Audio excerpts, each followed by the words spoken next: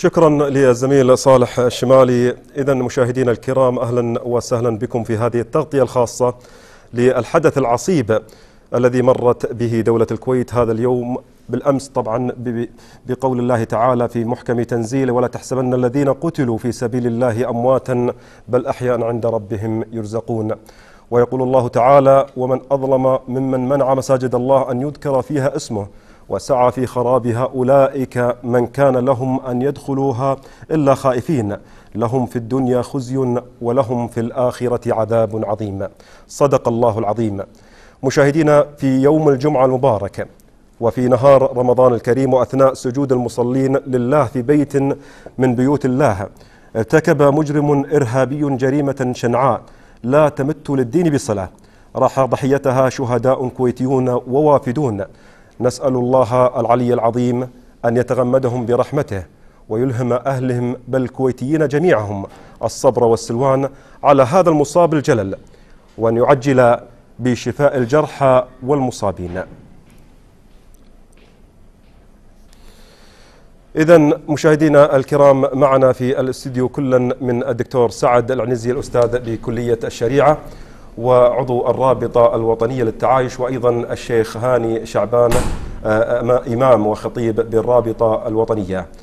آه، أهلا ومرحبا بكم ونعزي آه، أنفسنا قبل أن نعزيكم بهذا المصاب الجلل. لا شك في ذلك. أعتقد بأن يعني ما أصاب المجتمع الكويتي البلد بأسره لا شك بأنه مصاب جلل. نسأل الله تبارك وتعالى أن يرحم شهداء الكويت. ولا شك بأن ما حدث هو جريمة بكل المقاييس وأعتقد بأن آه، لا يوجد عقل ولا دين يؤيد ما يحدث وما حدث سواء كان في الكويت أو حتى أيضا في الجوار الإقليمي من مآسي آه، أسرية واجتماعية وأمنية. أصابت العالم الإسلامي بأسره وأصاب أيضا أهل الكويت حقيقة يوم الجمعة ما أصابها من مآسي ولكن عزاؤنا لا شك بأن وحدة هذا المجتمع كفيلة بصد أي فكر متطرف يحاول زعزعة الأمن أو الأمن المجتمعي داخل مجتمع الكويت.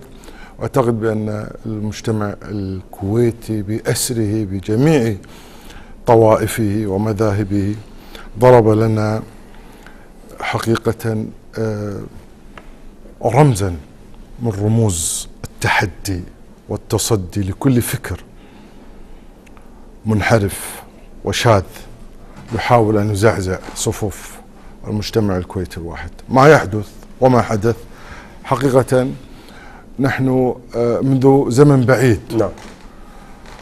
وأنا كذلك مع الشيخ هاني شعبان في عدة لقاءات وفي عدة محاضرات. وتكررت دائما يعني. وخلال وخلال هذا الاستديو بأن نعم لا شك في ذلك سواء كان في تلفزيون الكويت نعم. أو حتى أيضا في بعض القنوات الفضائية الخاصة. ذكرنا بأن التحدي القادم هو نبذ التطرف والتشدد ومواجهة هذا الفكر بفكر أي بالفكر الصحيح. لا شك بأن ما يحدث وما نسمع من أفكار ومن جماعات وغير ذلك تحاول أن تتوغل داخل المجتمعات وتبث هذه السموم قبل عبر وسائل قبل نعم قبل الدخول في هذه في هذه القضية يعني دكتور سعد أريد منك يعني الآن تشاهد معي تجمع واصطفاف أهل الكويت في مسجد الدولة الكبير يتقدم المستقبلين آه، نائب رئيس مجلس الوزراء وزير الخارجية الشيخ صباح الخالد الصباح وأيضا وزير أعلام الشيخ سلمان محمود الصباح وأعضاء الحكومة وأيضا رئيس مجلس الأمة مرزوق الغانم يعني كيف تصف هذا المشهد؟ شوف هذا هذا هو حقيقة المجتمع الكويتي بأسره سواء كان المسؤول أو حتى عامة الشعوب أم عامة المجتمع. هذه هي ميزة الشعب الكويتي أنه في الأزمات يصبح كالجسد الواحد سواء كان مسؤول أو كان أي مواطن آخر. وأعتقد حتى جميع طوائف المجتمع الكويتي وفئاته تتحد في مثل هذه المواقف وهذا مجرب. يعني في في في الأيام في آه، سنة 90 وما حدث من مآسي وجدنا التلاحم لم يسبق له مثيل. تلاحم الشعب الكويتي مع قيادته في ذلك الوقت. أعتقد بأن أيضا يعني كل ما تأتي فتنة أو تأتي أو يأتي ابتلاء داخل المجتمع يحاولون ويحاول البعض أن يزعزع الأمن المجتمعي داخل المجتمع يفشل لأن المجتمع الكويتي هو مجتمع واحد وأعتقد مهما حدث.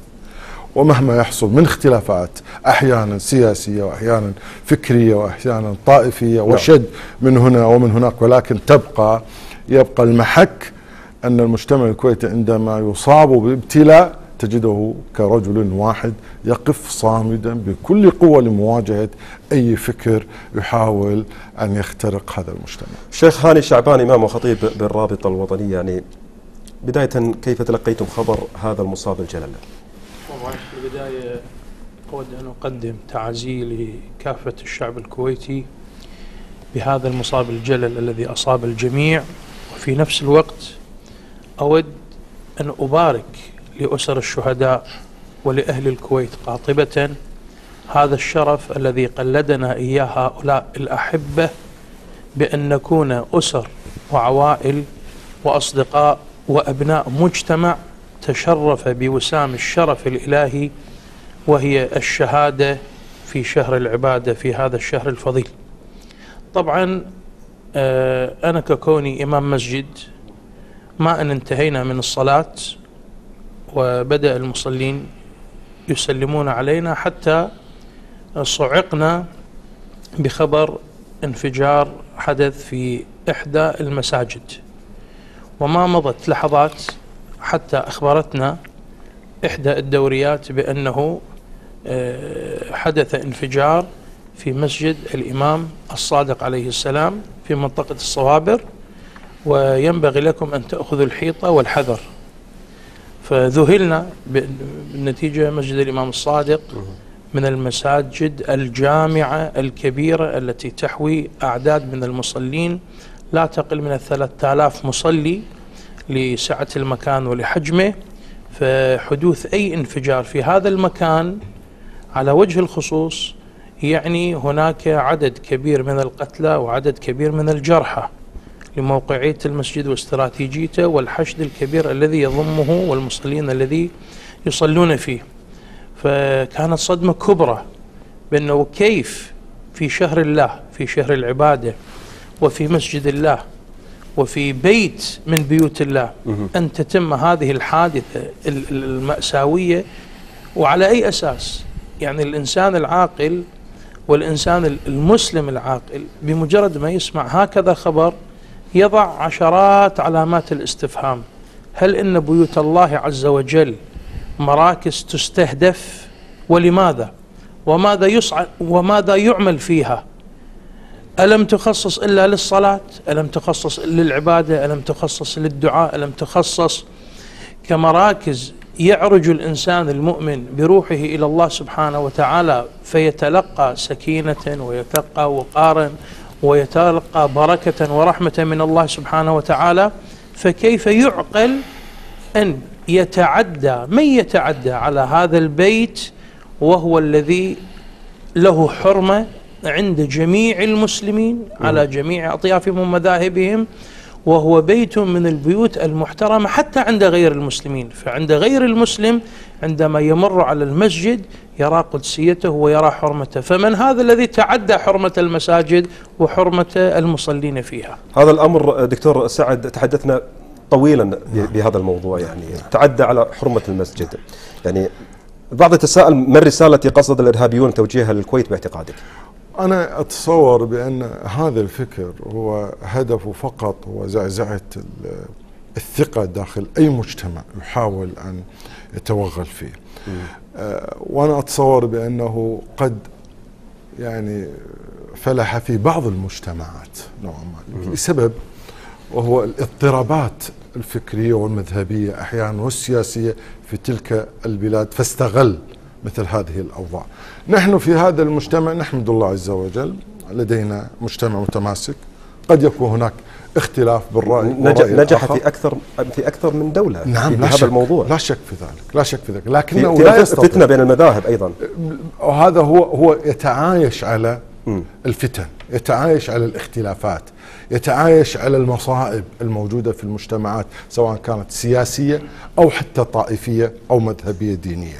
فهو يغتات على مثل هذه الأجواء. نحن في المجتمع الكويتي ما عندنا يمكن ال- ال- الموجود في بعض البلاد اللي توغل فيها مثل هذا الفكر وحاول أن نعم هناك بعض الاختلافات هناك بعض الأصوات وبعض أصحاب الدكاكين الذين يعني وجدوا بأن هناك مصلحة بإثارة بعض الفتن.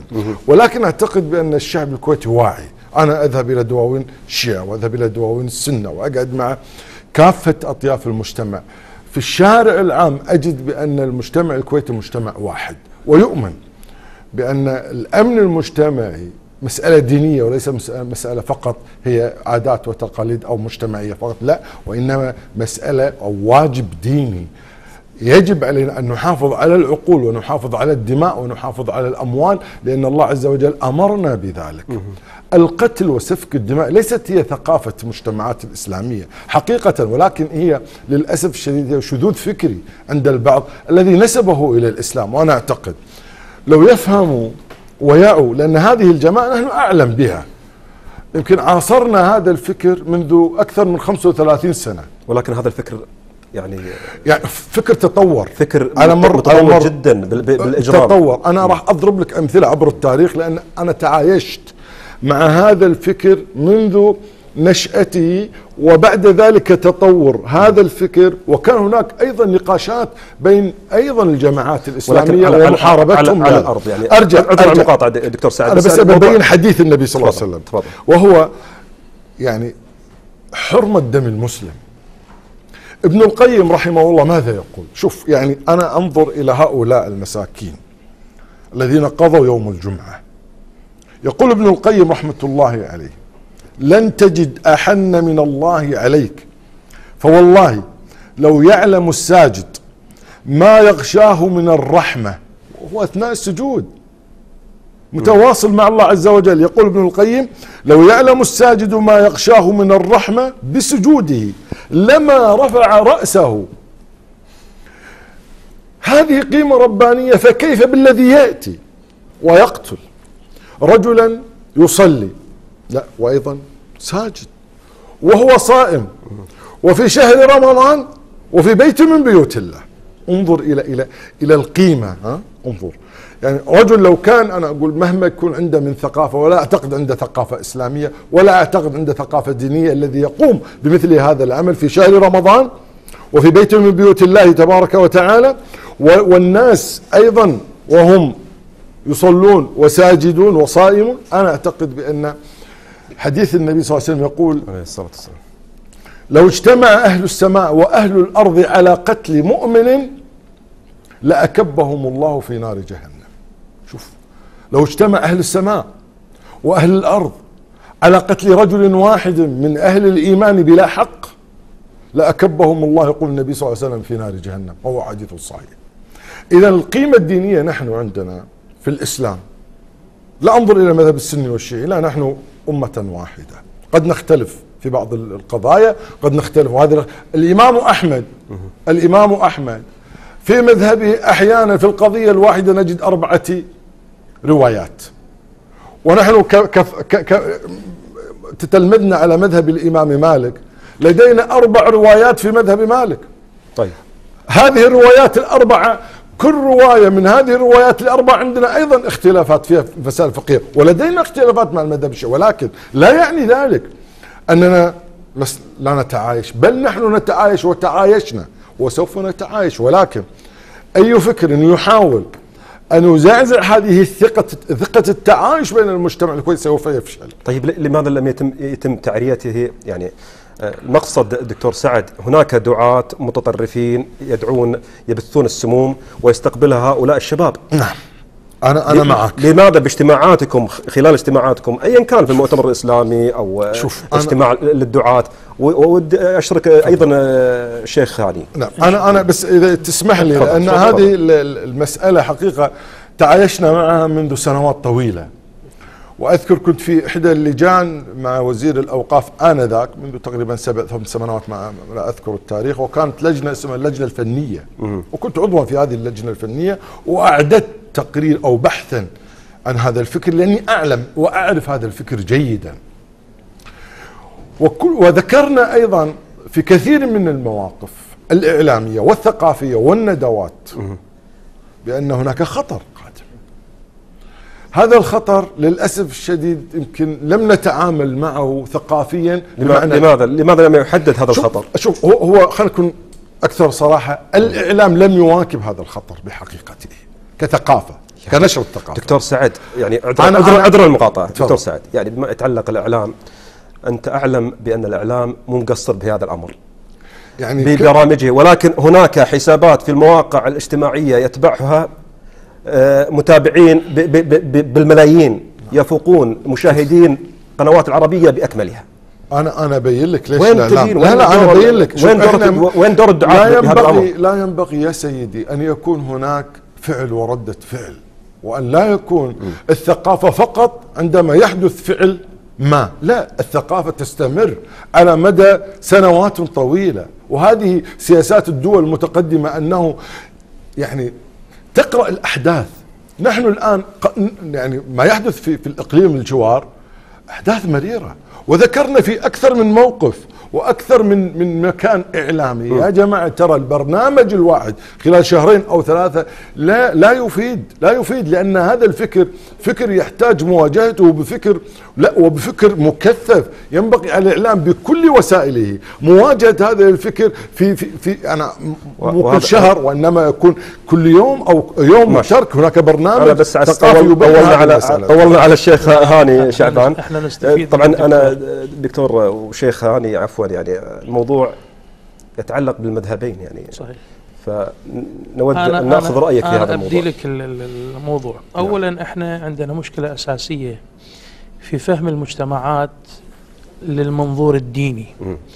إحنا دائما عندما نتحدث عن الدين في جميع المذاهب كل يحاول أن يعرض صورة الإسلام إما عن طريق الآيات القرآنية وكيفية فهم الآيات القرآنية وتفسيرها ومن, ومن ثم لا لا قبل أن نوصل إلى التفسير لا لا هناك اجتهادات بشرية و- يعني. ومن ثم ومن ثم نتحدث عن الأصول التي جعلها النبي الأكرم صلى الله عليه وآله وسلم كسنة. يجتمع عليها جميع الطوائف والأمم الإسلامية ولكن عندما نأتي لكي نطبق ما ندرسه وما ندعو أننا دعاة إليه كقرآن والسنة النبوية تبدأ عندنا مشكلة أساسية وهي إن هذه المج... هذه ال- ال- ال- الدعوة أو هذا الدين الذي نحن نأخذه نأخذه كأصوله المتجردة أو على أصوله المتجردة أم نأخذه من فكر الممارسة الدينية التي مارسها من قرأ الإسلام ومن استوعب الإسلام وفق مفاهيمه ومن طبق الإسلام وفق تفسيراته. المشكلة الأساسية التي جعلت الأمة الإسلامية تتبع مذهبية شنو معنات المذهب؟ أنه ذهب إلى رأي فلان. رأي الإمام مالك أو رأي الإمام أحمد بن حنبل أو رأي الإمام الشافعي أو رأي الإمام أبي حنيفة أو رأي الإمام جعفر بن محمد الصادق. وشكل فالتمذهب الذهاب إلى آراء هؤلاء العلماء والفقهاء الذين كانت لهم رؤية في تطبيق الأحكام الشرعية. فالسؤال الذي يقع هل نحن كأمة إسلامية أيضا وقفنا عند هؤلاء الخمس؟ الإجابة لا. تفرعت أيضا الآراء الفقهية من هذه الآراء الأساسية. وعندما ننظر إلى حجم المسافة بين النبي الأكرم صلى الله عليه وآله وسلم وبين السنة التي بدأت الأمة الإسلامية تعي أنه ينبغي لها أن تأخذ بلوازم دينية من شخص أوجد فكرا ومنهجا راح تشوف الفرق مئة عام. يعني السؤال الذي إحنا نطرحه للأمة الإسلامية هل مئة سنة ما كانت أكو ثقافة ما كان أكو تعاليم ماكو فقه ماكو تفسير؟ كان موجود. ولكن الأمة كانت تعيش لغة تعايش لغة تعايش. لغة التعايش اليوم معناته إنك أنت عندك ثوابت القرآن والسنة ومن ثم تستخدم لغة اختلاف أمتي رحمة بأن عندما يأتي إلى المذهب الجعفري الذي هو أستاذ الفقهاء كالإمام مالك رحمه الله وكالإمام آه نعم آه أبو حنيفة. أبو حنيفة. وهذا ما أثبته الدراسات التاريخية. فكانوا يجالسون الإمام الصادق كان كان يقول أما والله إني أحب مجالسة مالك وكذا كذا. فما كان بيناتهم أي خلاف حتى فقهيا. كانت عندهم مؤتمرات فقهية كانت عندهم جلسة فقهية الحوار كان موجود الانفتاح العلمي كان موجود. لما أنا كفقيه فقيه أجالس فقيه والعالم يجالس عالم وتصير حوارات ونقاشات بالنتيجة أفضي إلى علمه ويفضي إلى علمي أفضي إلى معرفتي ويفضي إلى معرفتي. لربما الدكتور عنده نظرية يعتقد أنها صحيحة لكن عندما نتناقش فيها تثبت عنده خطأ. يمكن أنا عندي نظرية أنا أعتقد أنها صحيحة لكن لما أتناقش فيها مع عالم آخر تثبت أنه مثلا خطأ. فلغة الحوار والموضوعية اللي التي طرحت ما قبل التمذهب وسارت ما بعد المذهبية هذه ظاهرة حسنة جيدة تفيد المجتمعات. ولهذا مثل ما تفضل الدكتور الإمام مالك كان عنده في المسألة الواحدة أربع آراء. تارة يذهب إلى مصر فتكون عنده في هذه المسألة آراء مختلفة. من أنه إذا يرجع إلى الحجاز تكون عنده آراء أخت- أخرى مختلفة أو مستجدات تتوافق مع وضع المجتمع مع حالة المجتمع مع آه، الوضع ال- ال- الديني اللي اللي المجتمع يفرضه عرف شلون؟ كعادات وتقاليد وغير وغير. إحنا اليوم للأسف للأسف قاعد نحاول إن نعيش اولا تاريخ مو تاريخنا حضارة مو حضارتنا وبدلا أن نتقدم إلى الأمام ونستنفذ جميع الجهود ونعمل على تفعيل الدراسات التي تحيي مجتمعنا لأن الدعوة إلى الله مختصرة بآية واحدة في القرآن. يا أيها الذين آمنوا هذه رسالة موجهة لكل مسلم. يا أيها الذين آمنوا استجيبوا لله وللرسول. إذا دعاكم لماذا؟ للتفجير؟ للتفخيخ؟ لقتل الأبرياء لرفع حالة الأمن التي تعيشها المجتمعات والبلدان؟ لا ليس كل هذا إنما إذا دعاكم لما يحييكم فدعوة الله ودعوة رسوله إلى حياة حياة شعوبية حياة أممية حياة فرد بجميع مقاييس وموازين الحياة فكريا موضوعيا دينيا عاطفيا سلوكيا حضاريا اليوم اللي قاعد يصير في المجتمع إن بدعوة الإسلام إحنا قاعد نضرب الإسلام. بدعوة الإسلام نحن نقف أمام كل ما يمكن أن يخدمنا كمسلمين فكرا وفقها وحتى سياسة. ولا نعلم بأن هذه التوجهات اللي الحين بالفعل قاعد تطلع لنا بمسميات إرهاب وغير وغير وغير آه، بدعوى حملة الدين. من هؤلاء؟ من أين جاءوا؟ طيب. من أي رحم وجدوا؟ دكتور سعد يعني آه، خرج عن جادة الطريق الإسلامية الصحيحة إلى الانحراف والغلو بالإسلام يعني ما هو الإجراء؟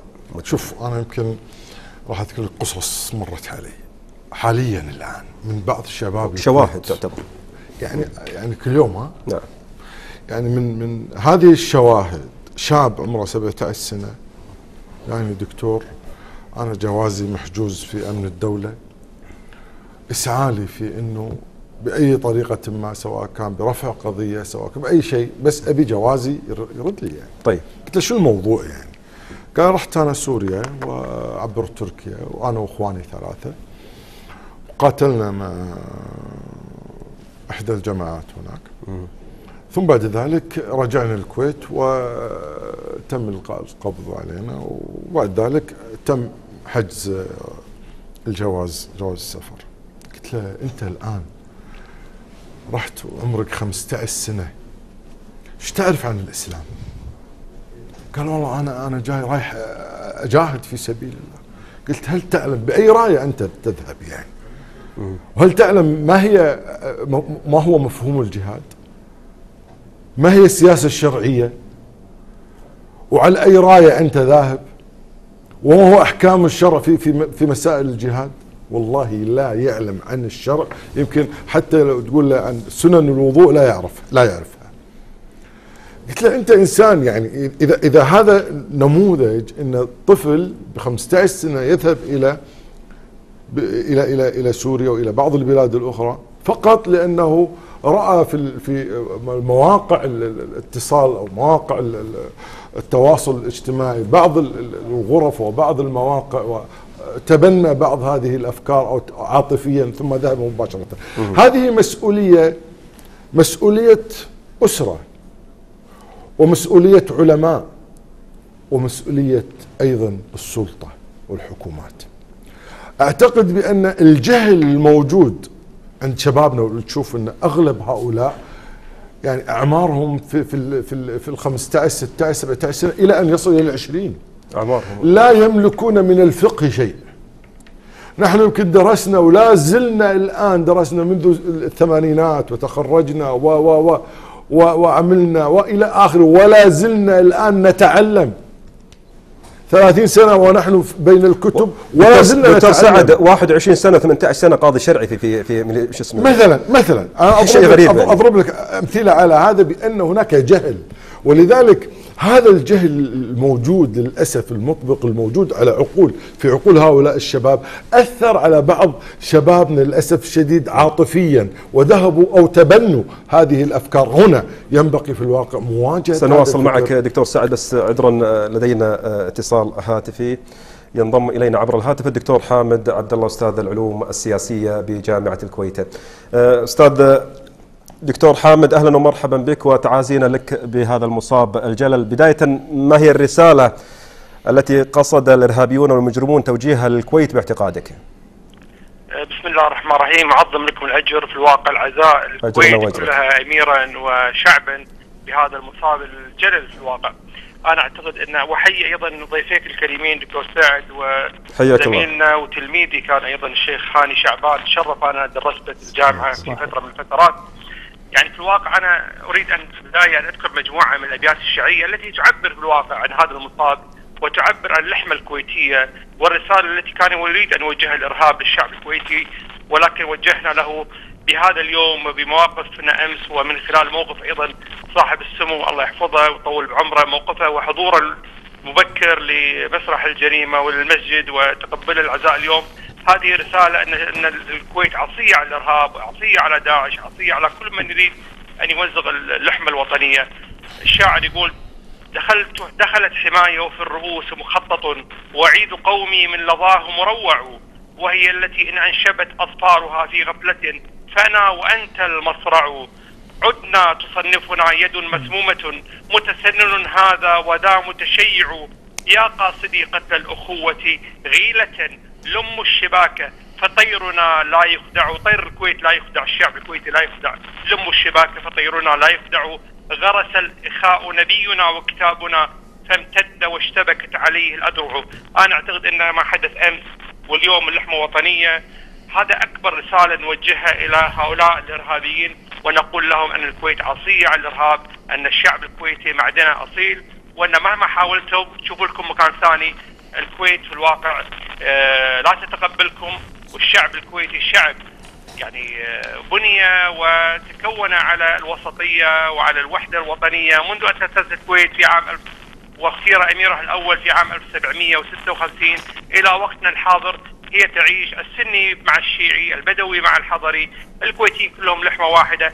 صحيح أن هذا الحادث في الواقع حدث أليم ومصاب جلل وذهب ضحيته الكثير من الشهداء والكثير من المصابين. نحن نتألم ونحن نبكي دموع في الواقع دموع من دم.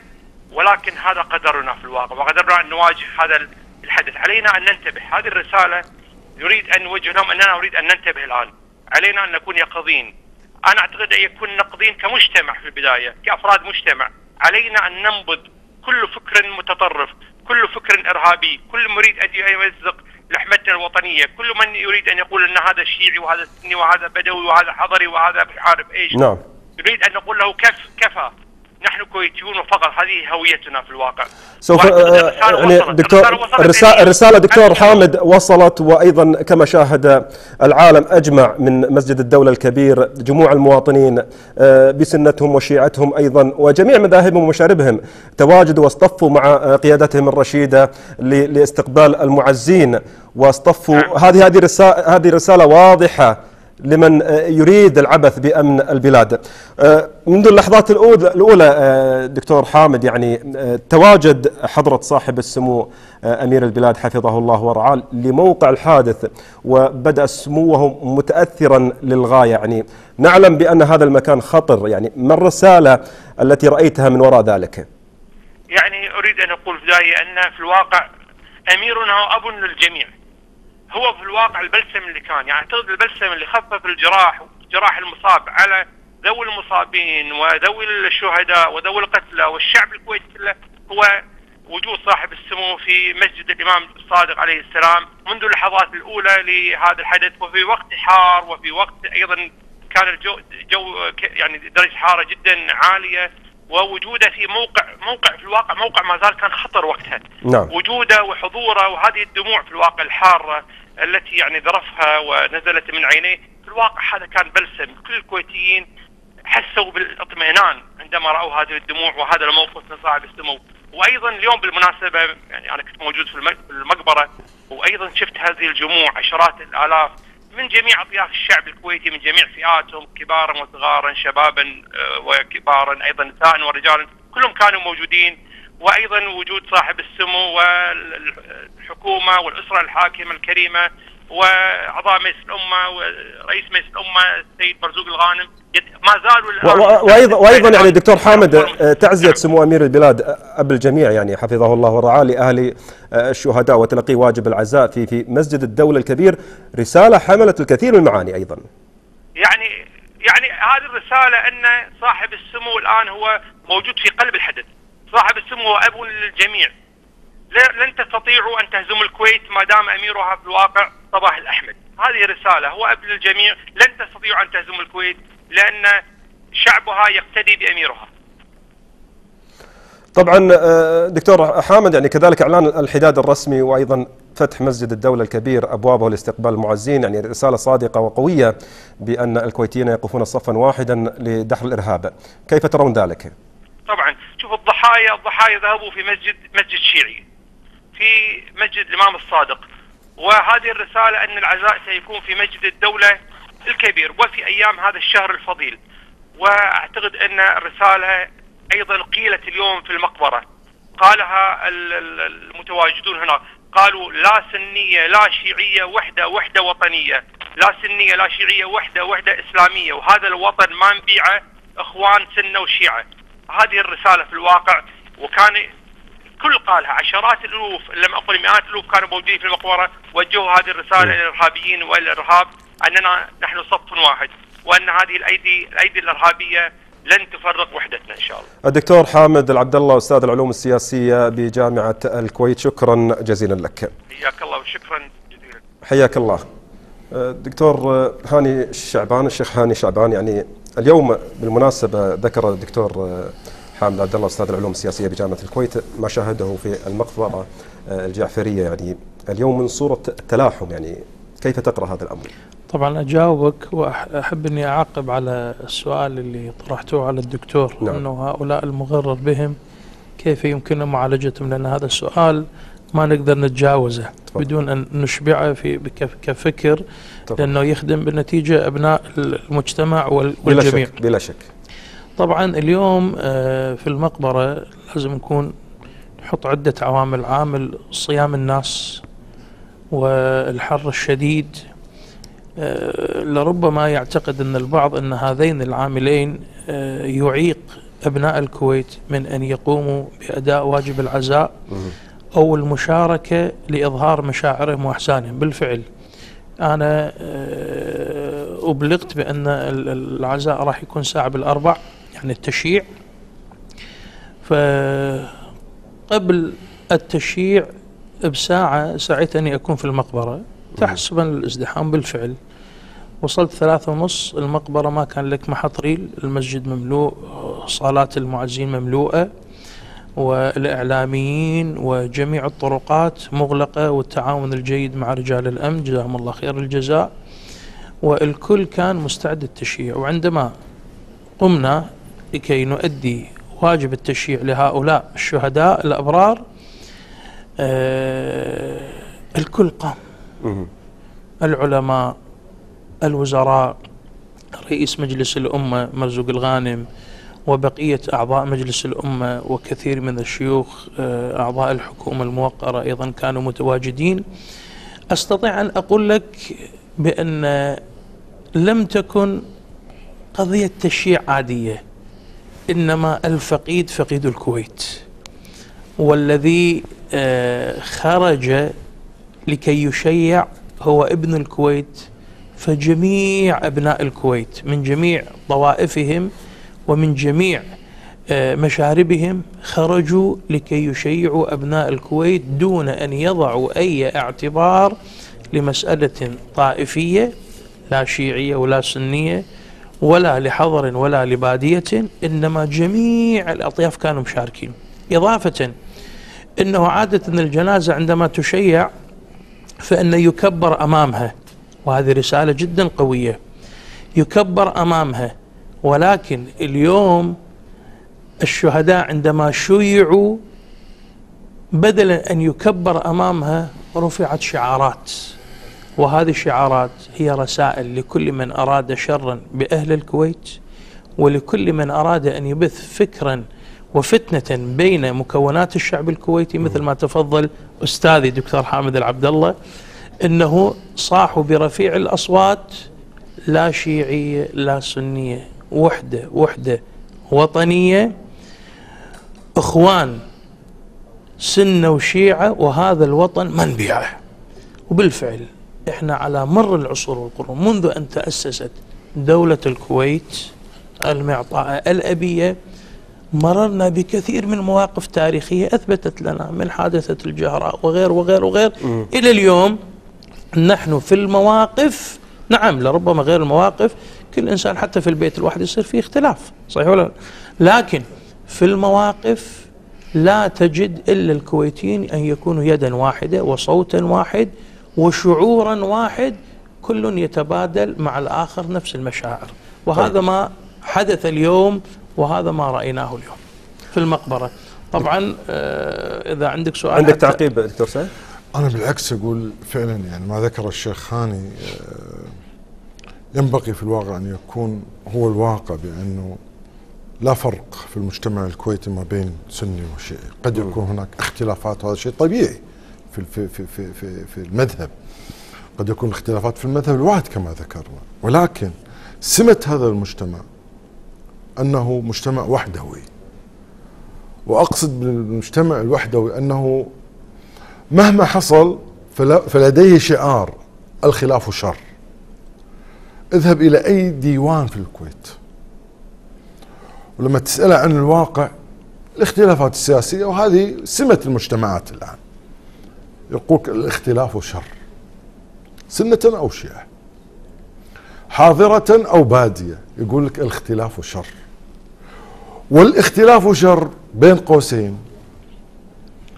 قالها قبل ذلك آه، عبد الله بن مسعود. قال عندما وقع خلاف ما بين الصحابة وعثمان بن عفان حول مسألة فقهية وهي الصلاة في منى كان النبي صلى الله عليه وسلم يصلي في منى ركعتين يجمع الظهر والعصر. ولكن عثمان قد تأول فقهيا فصلاها أربعا. وكان عبد الله بن مسعود خلفه فصلاها أربعا. فلام بعض الصحابة عبد الله بن مسعود قال له أصلي صليت مع النبي ركعتين وتصلي مع عثمان أربعا؟ فقال الخلاف شر الخلاف شر. وهذه الكلمة الخلاف شر عندما تذهب في أي ديوانية من دواوين الكويت يقول لك الخلاف شر الخلاف شر. وهذه سمة أهل الكويت إنهم مجتمع واحد مجتمع لا يفرق. والله عشنا في السبعينات وفي الثمانينات و... لا نفرق. ولن نفرق.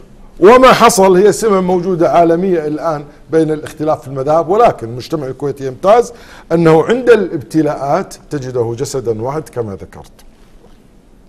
كذلك أيضا ما ذكره الشيخ خاني وأثني عليه وهو أنه الاجتماع قوة.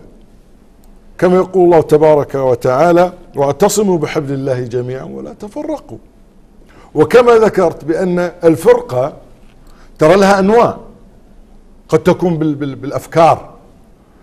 قد تكون بالأقوال. وهذا ما ترجمها يعني قد تكون الشعب, الشعب الكويتي من أول صحيح. بداية الساعات الحادثه الحادثة الأليمة يعني. الفرقة اتجه على طول إلى إلى بنك الدم. احسنت حتى أن بنك الدم يعني لم يستوعب كل هذه الجموع. وأوقف العديد والعديد من هؤلاء. خاص اكتفى.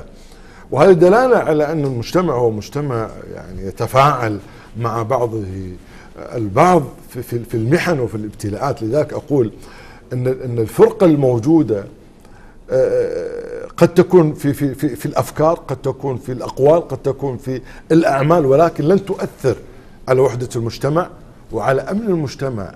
مهما حصل صدقني مهما حصل قد يكون عندنا اختلافات سياسية قد يكون عندنا اختلافات مذهبية قد يكون عندنا إنسان يتنطع من هنا وإنسان يتنطع من هنا وإنسان ولكن انظروا الآن إلى الملحمة داخل المجتمع الكويتي.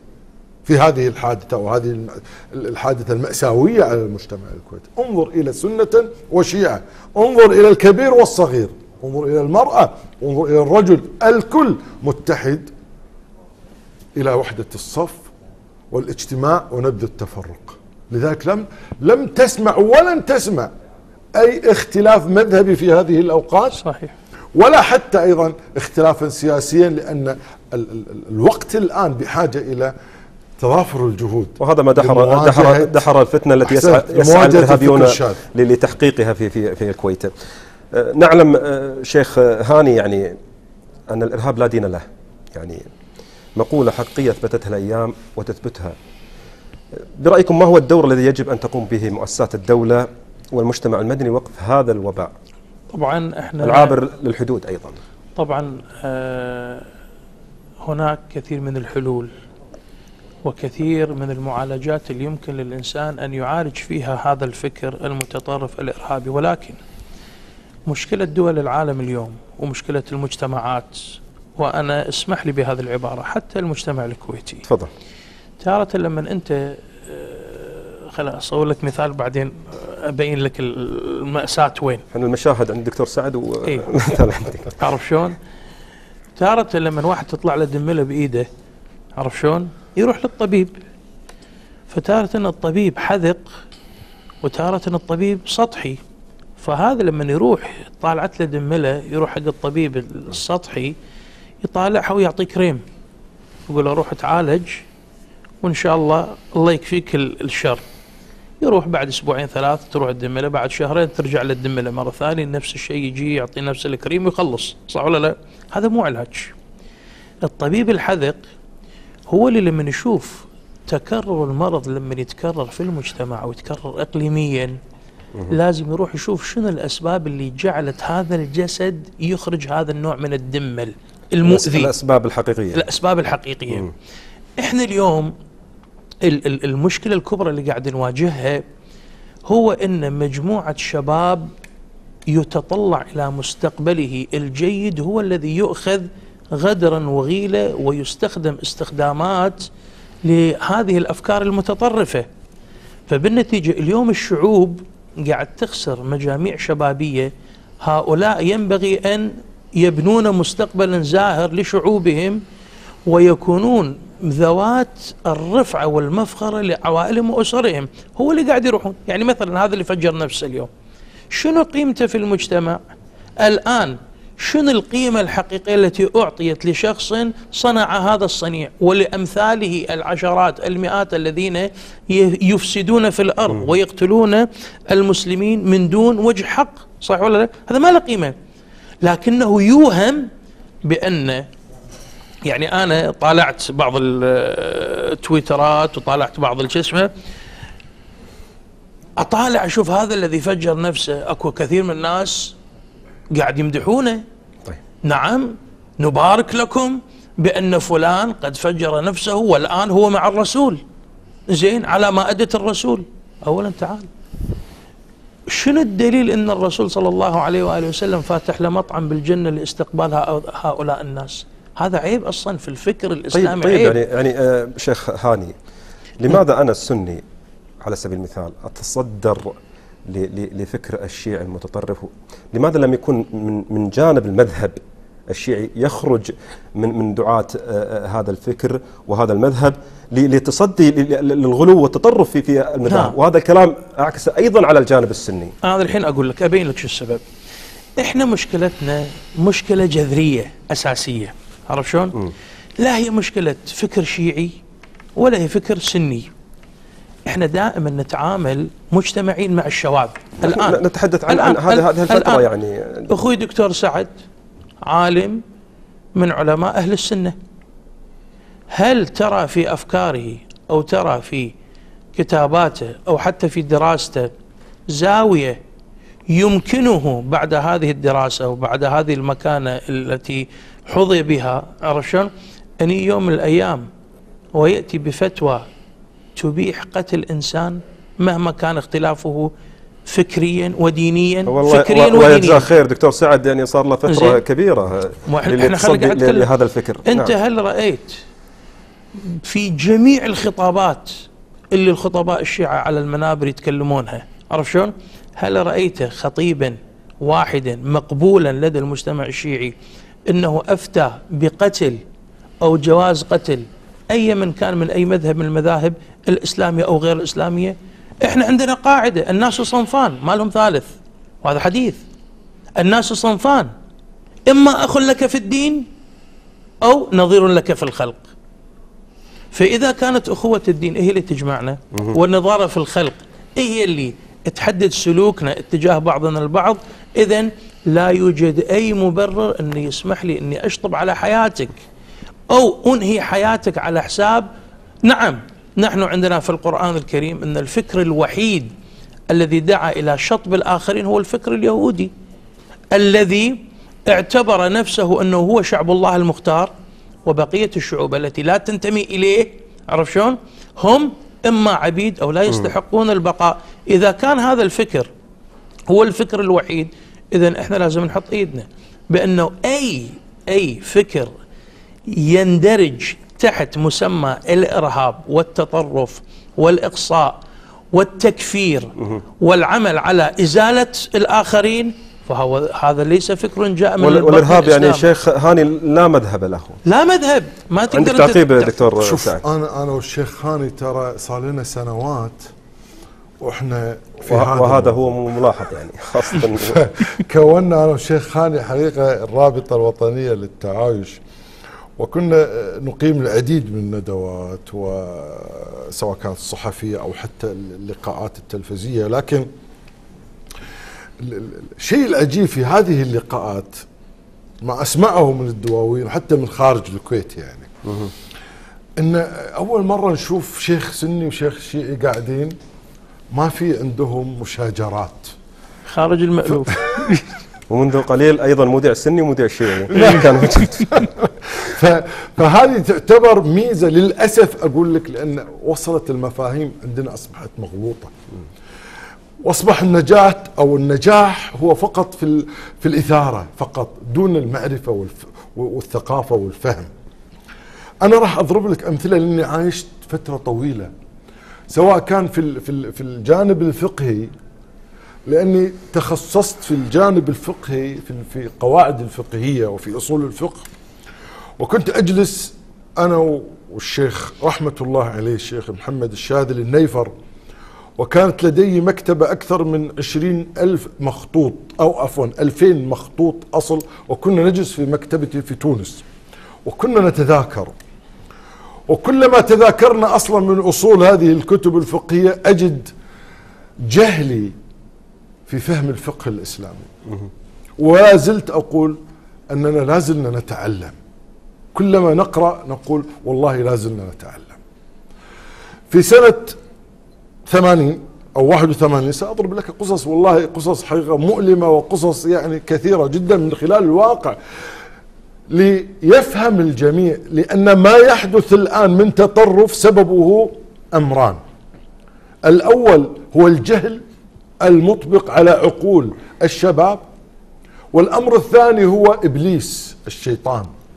قد يلبس على كثير من العقول المتدينة حديثا. أو الذي لديه تدين ولكنه تعصب وانحرف بشدته إلى هذا الفكر أو إلى هذا التأويل نوعا ما. كنت أجلس مع أحد الأخوة في حادثة الحرم وكنت أتساءل وكان هناك نقاش ما بين حتى في المذهب السلفي أو في الحركة السلفية عفوا كان هناك نقاش حتى ما بين التكفيريين وبين السلفية المعتدلة. في ذلك الوقت كان هناك نقاش حامي في هذه المسألة حول تكفير الحاكم حول تكفير المجتمعات وحول نظريات سيد قطب وغير ذلك. يقول لي هذا الشخص يأتينا في المنام أحلام بأن محمد بن عبد الله القحطاني هو المهدي المنتظر. انظر. يقول أتاني أنا وأتى فلان وفلان وفلان وفلان وفلان وفلان إلى أن وصل شبه تواتر للمجموعة أن كل كل ليلة هناك رؤيا بأن فلان الذي اسمه محمد بن عبد الله من أهل الطائف هو المهدي المنتظر. فقل فذهبنا إليه خلاص تواتر الموضوع فذهبنا إليه وقلنا له أنت المهدي المنتظر.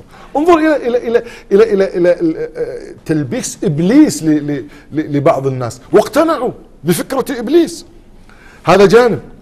الجانب الآخر وهؤلاء أنا أنا أنا أنا يعني أؤكد بأن ما يقومون به هي أفكار إبليسية وليست أفكار مبنية ومنبثقه عن عن فقه أو عن عن شريعة لأن الإسلام يحمي العقول، الإسلام يحمي الدماء، الإسلام يحمي الأعراض، الإسلام يحمي الأموال، الإسلام يدعو، شوف أنا أضرب لك في في في, في السياسة الشرعية.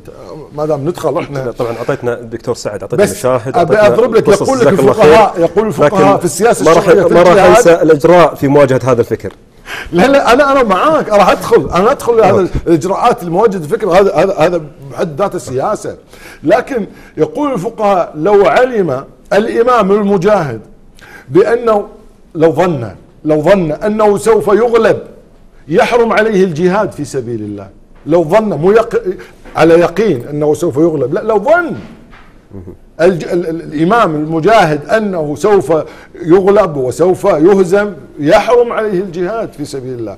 النبي صلى الله عليه وسلم في في مفهوم ولاة الأمور وهذه هذه إجابة على سؤالك الآن في مواجهة هذا الفكر لأنهم لا يرون بأن هناك ولي أمر أساسا. هذا الفكر التكفيري لا يرى ابدا بأن هناك ولي أمر وأنه تحت ولاية هذا هذا الأمير أو ذلك الملك أو لا لا ابدا. لا لا يعتقدون. ومع ذلك قد خالفوا حديث النبي صلى الله عليه وسلم في ذلك. وقد أجمع يقول ابن حجر يقول الإجماع على عدم جواز الخروج على السلطان الظالم. شوف حتى السلطان الظالم. يقول ابن حجر رحمه الله يحرم يقول لا يجوز الخروج على السلطان الظالم. وقال ابن بطال أيضا وقد أجمع الفقهاء على وجوب طاعة السلطان المتغلب والجهاد معه وإن طاعته خير من الخروج عليه. لما في ذلك من حقن الدماء دماء المسلمين. هذا جاء في فتح الباري أيضا. ونقل الإمام النووي الإجماع على ذلك. قال أما الخروج عليهم وقتالهم فحرام. شوف الخروج على الحاكم. يقول فحرام بإجماع المسلمين وإن كانوا فسقه ظالمين. انظر إلى إلى إلى كتاب النووي في شرح النووي. الإمام أحمد بن حنبل في مسنده كتاب مسند كتب كتب احاديث النبي صلى الله عليه وسلم في مسند الإمام أحمد. أزال كل الأحاديث التي فيها خروج على الحاكم. قال لا خيرة في في الخروج ولا خير في القتل. فأزال كل الأحاديث التي تخرج على هؤلاء إجابة على سؤالك في مكافحة هذا الفكر أن نحارب هذا الفكر بالفقه الإسلامي بالفكر الإسلامي في السياسة الشرعية الصحيحة في الإسلام وفي فهم هؤلاء ليس لديهم فقه. أنا أذكر كنت أدرس أحد الأشخاص الذي لديه هذا الفكر سنة 86 وكان في بيتي. جاني قال دكتور أنت عندك فقه وكذا يا ريت آه، تعطيني في فقه المحلى في كتاب ابن حزم. وكنت أقرأ له في كتاب ابن حزم وابن حزم طبعا ظاهري وهم هؤلاء هم ظاهرية أكثر من ابن حزم الظاهري وأكثر من أبو داود الظاهري. لذلك عندما كنت أبين له كان يتعجب يقول كيف هذا هذا التأويل هذا رأي؟ لا يؤول لا يأخذون بتفسير النصوص لا يأخذون بوجهة الدلالة وإنما يأخذون النص فقط ويطبقونه على حسب الفهم الذي هو يفهمه من هذا النص لا على حسب الفقهاء لأنهم يقول هؤلاء فقهاء هم رجال ونحن رجال. وهذه هي المصيبة. إذا هو يساوي نفسه كابن القيم مثلا أو ابن حزم الظاهري أو أبو حنيفة رحمه الله أو الإمام الشافعي أو الإمام مالك هو يظن نفسه نفس هؤلاء العلماء. آه شيخ هاني شعبان آه تعقيبك على ما تحدث طبعا الدكتور كفى وفى لكن أنت ظل سؤالك عايب. إنه كيف يمكن معالجه هذا الفكر. طبعا معالج أعطاني الدكتور سعد. إيه. أنا طبعا أنا, أنا سألته ما اعطاني إيه أنا ما أعطاني مجال. هو هو بين الحوادث. الله لكن الواحد هو, سبحان هو الله بين يعني الدكتور الله يحفظه ما قصر بين إنه اولا آه تكلم عن تطرف فكر المسؤولين. لكن إحنا مشكلتنا مو في فكر المسؤولين. كيف يمكننا أن نحول بين هذا الفكر وبين المجتمع الذي وقع في مصيدة هكذا أفكار إذا صح التعبير. أولا إحنا اليوم لما نتعقب المشاكل من وين يتنا؟ وأن هؤلاء الذين أصبحوا دخلاء على مجتمعاتنا يهددون الأمن لازم ما نطالع بزاوية مغلقة لازم نطالع مثل ما يقولون بزوم مفتوح. اليوم العالم أصبح قرية واحدة. ما نراه في الأقاليم المحيطة بالمجتمع الكويتي هذا إحنا قاعد نوقف عنده كدراسة ندرسها وكخبرة نقف عندها حتى نحصن أنفسنا من أن نقع فيما وقع فيه الغير. هذا أمر عقلائي مطلوب. إنزين أنا لما أطالع في بعض البلدان أن الذي يهدد أمنهم والذي يعمل على تخريب سلامة أوطانهم ليسوا من داخل البلاد إنما من الخارج يأتون. يقول لك والله صدنا خلية من البوسنة من الهرسك من الأفغان من ما أدري وين من بلدان متعددة. هذا على طول يعطيك شعار خطر أن هذا شابه حق مجتمعك. هذا ليش داخل في مجتمعك؟ وما الفكر الذي يحمله حتى يفسد في مجتمعك؟ زين توصل إلى نتيجة. النتيجة إن هذا المخطط الإرهابي ليس وليد يوم ولا أشهر ولا سنوات قليلة. إنما هذا الفكر وليد سنوات طويلة عمل على تفعيل مسألتين. أولا تجذير الفكر الإرهابي واللي يسمونه هم فقه التعدي وتطهير الأراضي والبلدان. هذه واحدة. الشغلة الثانية أكو هناك ناس يوجهون ويفتحون الساحات من أجل أن يدخل هذا الفكر ويلقى له رواجا في البلد. أعطيك مثال أو مثالين واقعيين. أستاذ بندر المثال الأول. لما أنا أشوف في إحدى القنوات أو في بعض القنوات اللي إحنا نسميها قنوات نعم. الفتنة زين؟ لما أشوف واحد لم يتبقى لنا وقت يعني عند ما يخالف. أشوف واحد يدق ليل نهار م. على أن هذه الفئة هي ضالة. هذه الفئة هي كافرة. هذه نعم. الفئة هي شاذة. عرفت شلون؟ بعدين أتعدى إلى مسألة أخرى. طيب. يعني يعني هذا موضوع مهم جدا. بإذن, بإذن الله سنتطرق لكن هناك نشرة للأخبار آه. يعني يعني بعد الأخبار بإذن, بإذن الله بإذن الله وقت آخر بإذن الله. الشيخ هاني شعبان إمام وخطيب بالرابطة الوطنية وأيضا الدكتور سعد العنزي الأستاذ في كلية الشريعة وعضو الرابطة الوطنية للتعايش شكرا جزيلا لك. مشكور مشكور يا دكتور. اذا مشاهدينا نصل لنهاية هذه الحلقة الخاصة. والمباشرة للتغطية لتفجير مسجد الإمام الصادق والذي وقع في يوم الجمعة. رحم الله شهداء الكويت رحمة واسعة. وعجل إن شاء الله بشفاء المصابين. في أمان الله والسلام عليكم ورحمة الله وبركاته.